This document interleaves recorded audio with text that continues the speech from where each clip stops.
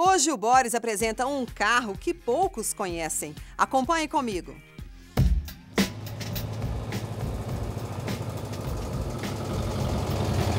Esse carro é raro no mundo e mais ainda no Brasil. É o Tatraplan Tcheco. Vocês querem conhecê-lo melhor? Eu também. Vamos sair para dar uma volta?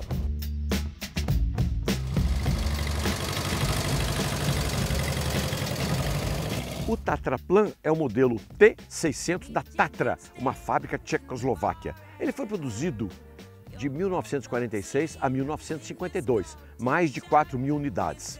As últimas já não foram feitas na Tchecoslováquia, mas o regime comunista decidiu que o automóvel seria produzido na fábrica da Skoda.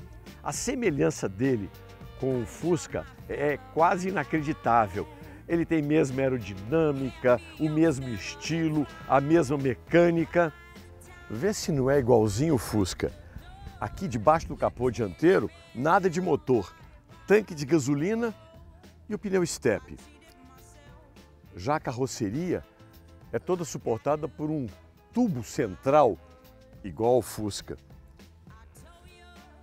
E a hora que chega aqui atrás, a primeira semelhança por causa dessa aleta, para dar mais aerodinâmica, o Tatra tinha dois vidrinhos separados. O Fusca não tinha aleta, mas os primeiros saíram com os dois vidrinhos separados. E mais, ao levantar a tampa traseira, olha aqui o motor exatamente igual ao do Fusca. Ventoinha para refrigerar, porque é ar, e quatro cilindros opostos horizontais, dois a dois. Qualquer semelhança não é mera coincidência.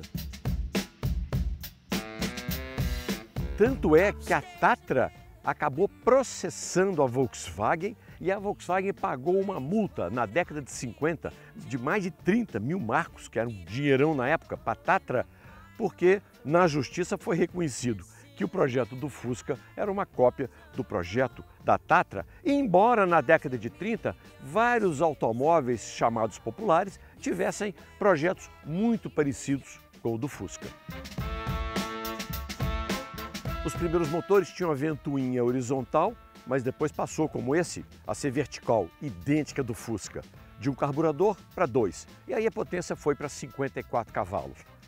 O câmbio são quatro marchas sincronizadas, mais ré. O coeficiente aerodinâmico é bom e o carro tem um desempenho razoável para a época. O painel já era mais completo que o do Fusca, porque o carro era mais luxuoso. O estofamento de veludo e atrás um bom espaço interno.